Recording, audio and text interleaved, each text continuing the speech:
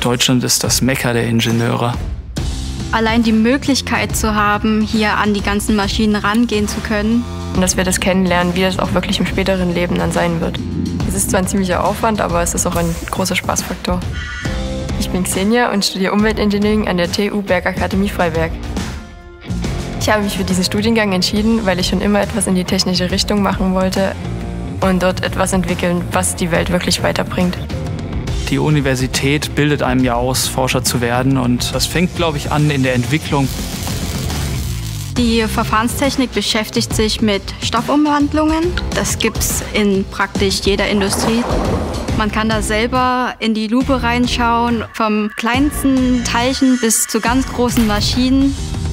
Was wir auch praktisch machen, sind zum Beispiel Messungen an Solarkollektoren oder an Windkraftanlagen. Eine weitere Aktivität ist zum Beispiel das wissenschaftliche Tauchen. Den Tauchschein kann man hier machen, gleich vor Ort. Und damit kann man dann sogar richtig wissenschaftlich an anderen Küstengegenden gehen. Unsere Uni hat auch ein Rennteam, der Formula Student.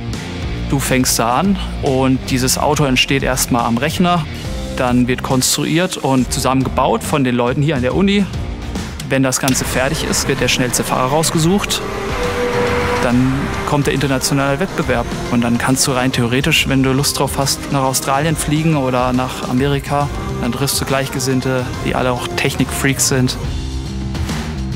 Ich bin hier gelandet, da ich das sehr schön finde, in einer kleinen Stadt zu studieren. Ich habe sehr schnell Anschluss gefunden, Freunde fürs Leben sogar.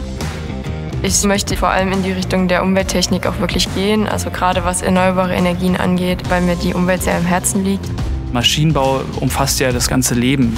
Abgefahrene Sachen, Hightech, alltägliche Gegenstände, das ist alles Maschinenbau und das ist so vielfältig.